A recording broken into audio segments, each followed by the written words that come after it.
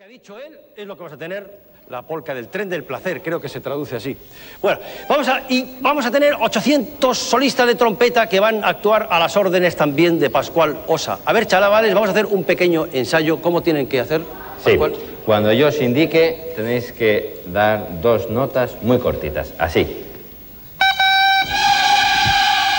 Otra vez. Cuando él os indique, nada más. Cuando yo os indique, Vamos allá con la orquesta.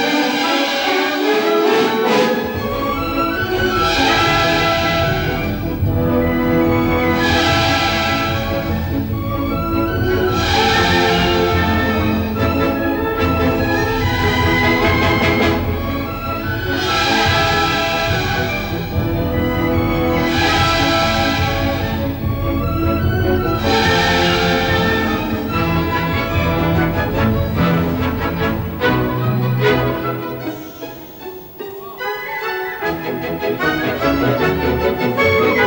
you.